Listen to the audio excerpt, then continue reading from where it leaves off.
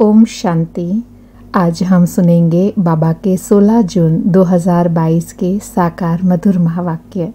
आज बाबा ने मुरली के सार में दो बातें बताई। एक तो किसी भी देहधारी को याद नहीं करना है, अपने को आत्मा समझ एक बाप को याद करना है। और दूसरी बात बाबा ने कही कि कोई भी बात में गफलत नहीं करना है, क्योंकि विकर्मों का बोझा पहले से ही सिर पर बहुत भारी है। इसलिए विकर्मों से सदा बचे रहना है। और उपाय बताया कि सिवाय एक बाप की याद के, यह विकर्मों का बोझा कम नहीं हो सकता। और आज बाबा ने सेंसिबल बच्चों की धारणा व निशानी सुनाई कि वह ज्ञान के बादल भर कर जाएँगे और जाई वर्षा करेंगे। ज्ञान की धारणा कर फिर दूसरों को कराएँगे। पढ़ाई में कभी भी उबासी नहीं लेंगे।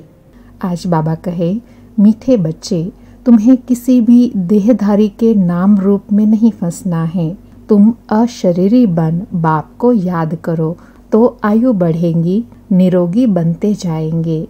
आज मुरली में प्रश्न है, सेंसिबल बच्चों की मुख्य निशानियाँ क्या होंगी? उत्तर में बाबा ने सेंसिबल बच्चों की दो निशानियाँ सुनाई। पहली, जो सेंसिबल होंगे, वह पहले स्वयं में धारणा कर फिर दूसरों को कराएँगे। बादल भर जाए, वर्षा करेंगे, पढ़ाई के समय उबासी नहीं लेंगे। ब्राह्मणियों पर रिस्पॉन्सिबिलिटी है। यहाँ उन्हें ही लेकर आना है। जो रिफ्रेश होकर जाए, फिर वर्षा करे।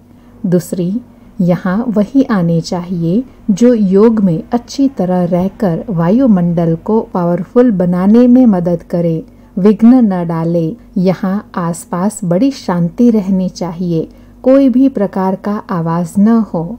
आज मुरली में गीत हैं, ओम नमः शिवाय पितुमात सहायक स्वामी सखा, तुम ही जग के रखवाले हो।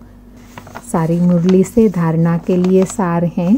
पहला, शरीर से डिटैच हो, स्वधर्म में स्थित रहने का अभ्यास करना है। जितना हो सके, मोस्ट बिलवेड बाप को याद करना है। मुँह की रग सब तरफ़ से निकाल देनी है। दूसरा, पढ़ाई पर पूरा ध्यान देना है। अपने ऊपर आपे ही कृपा व आशीर्वाद करनी है। बुद्धि योग हद से तोड़, बेहद से जोड़ना है।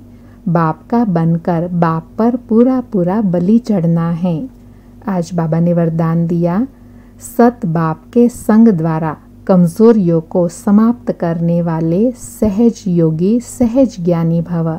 सत बाप के संग द्वारा कमजोरियों को समाप्त करने वाले सहज योगी, सहज ज्ञानी भव।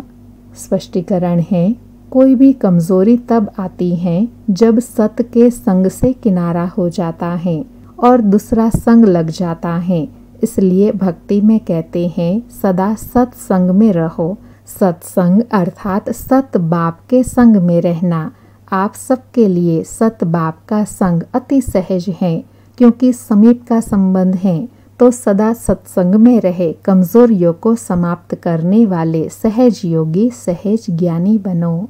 आज का स्लोगन है, सदा संपन्न रहना है तो प्रशंसा सुनने की इच्छा का त्याग कर दो।